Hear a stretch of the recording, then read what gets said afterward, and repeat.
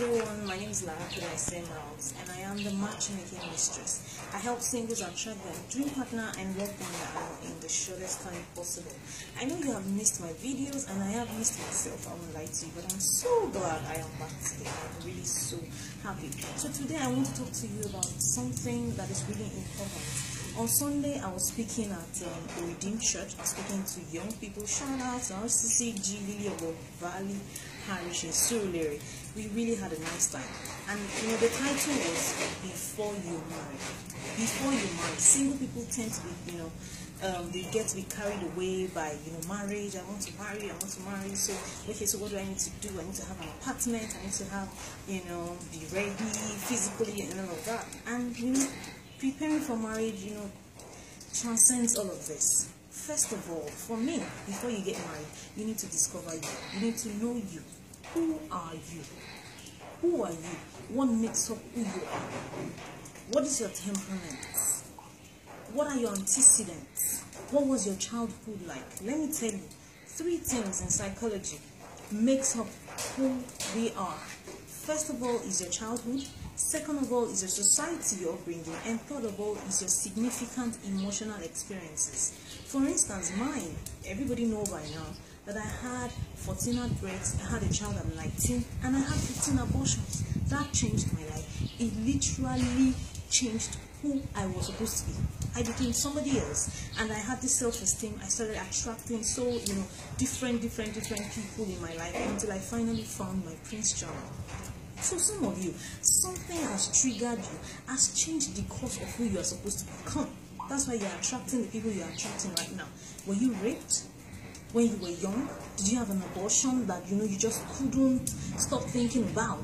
Or did somebody you know jilt you and that just changed the course of your life? Or your father molested you or treated you in a way that just changed everything?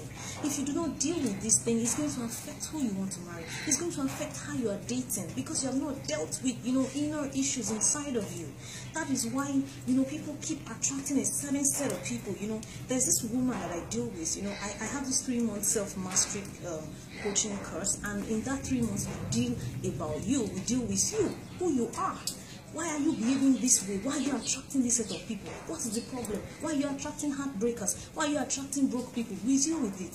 So please contact me if you want to join that course. You know so this woman i realized that she, you know she has been attracting uh, um, people men to her that um, didn't have money. They wanted somebody to mother them they wanted somebody who would become, you know, their mother. And she too did it. You know, she in fact we sat down, profiled all her relationships. She has become a mother to all her, you know, boyfriends, and it's affecting her.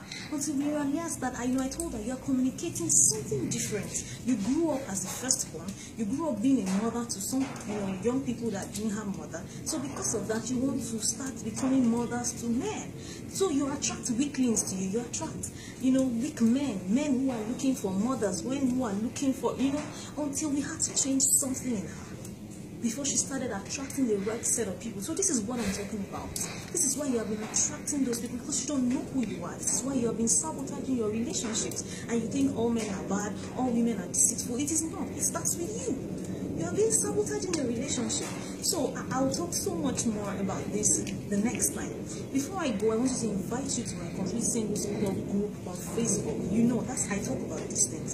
I'm there every day answering questions, talking, and all of that. If you have not joined, search for the complete singles club group on Facebook. It's a closed group, you know, and I'll accept you to that group and then we can start talking. It's free. You can start you know relating with me for free. And also follow me on instagram. My name is lara kudayisi. My kudayisi as a y k-u-d-a-y-i-s-i follow me on instagram follow me on twitter on facebook. I will be there to answer all your questions. You know like i always say it is never too late to live happily ever after. Bye for now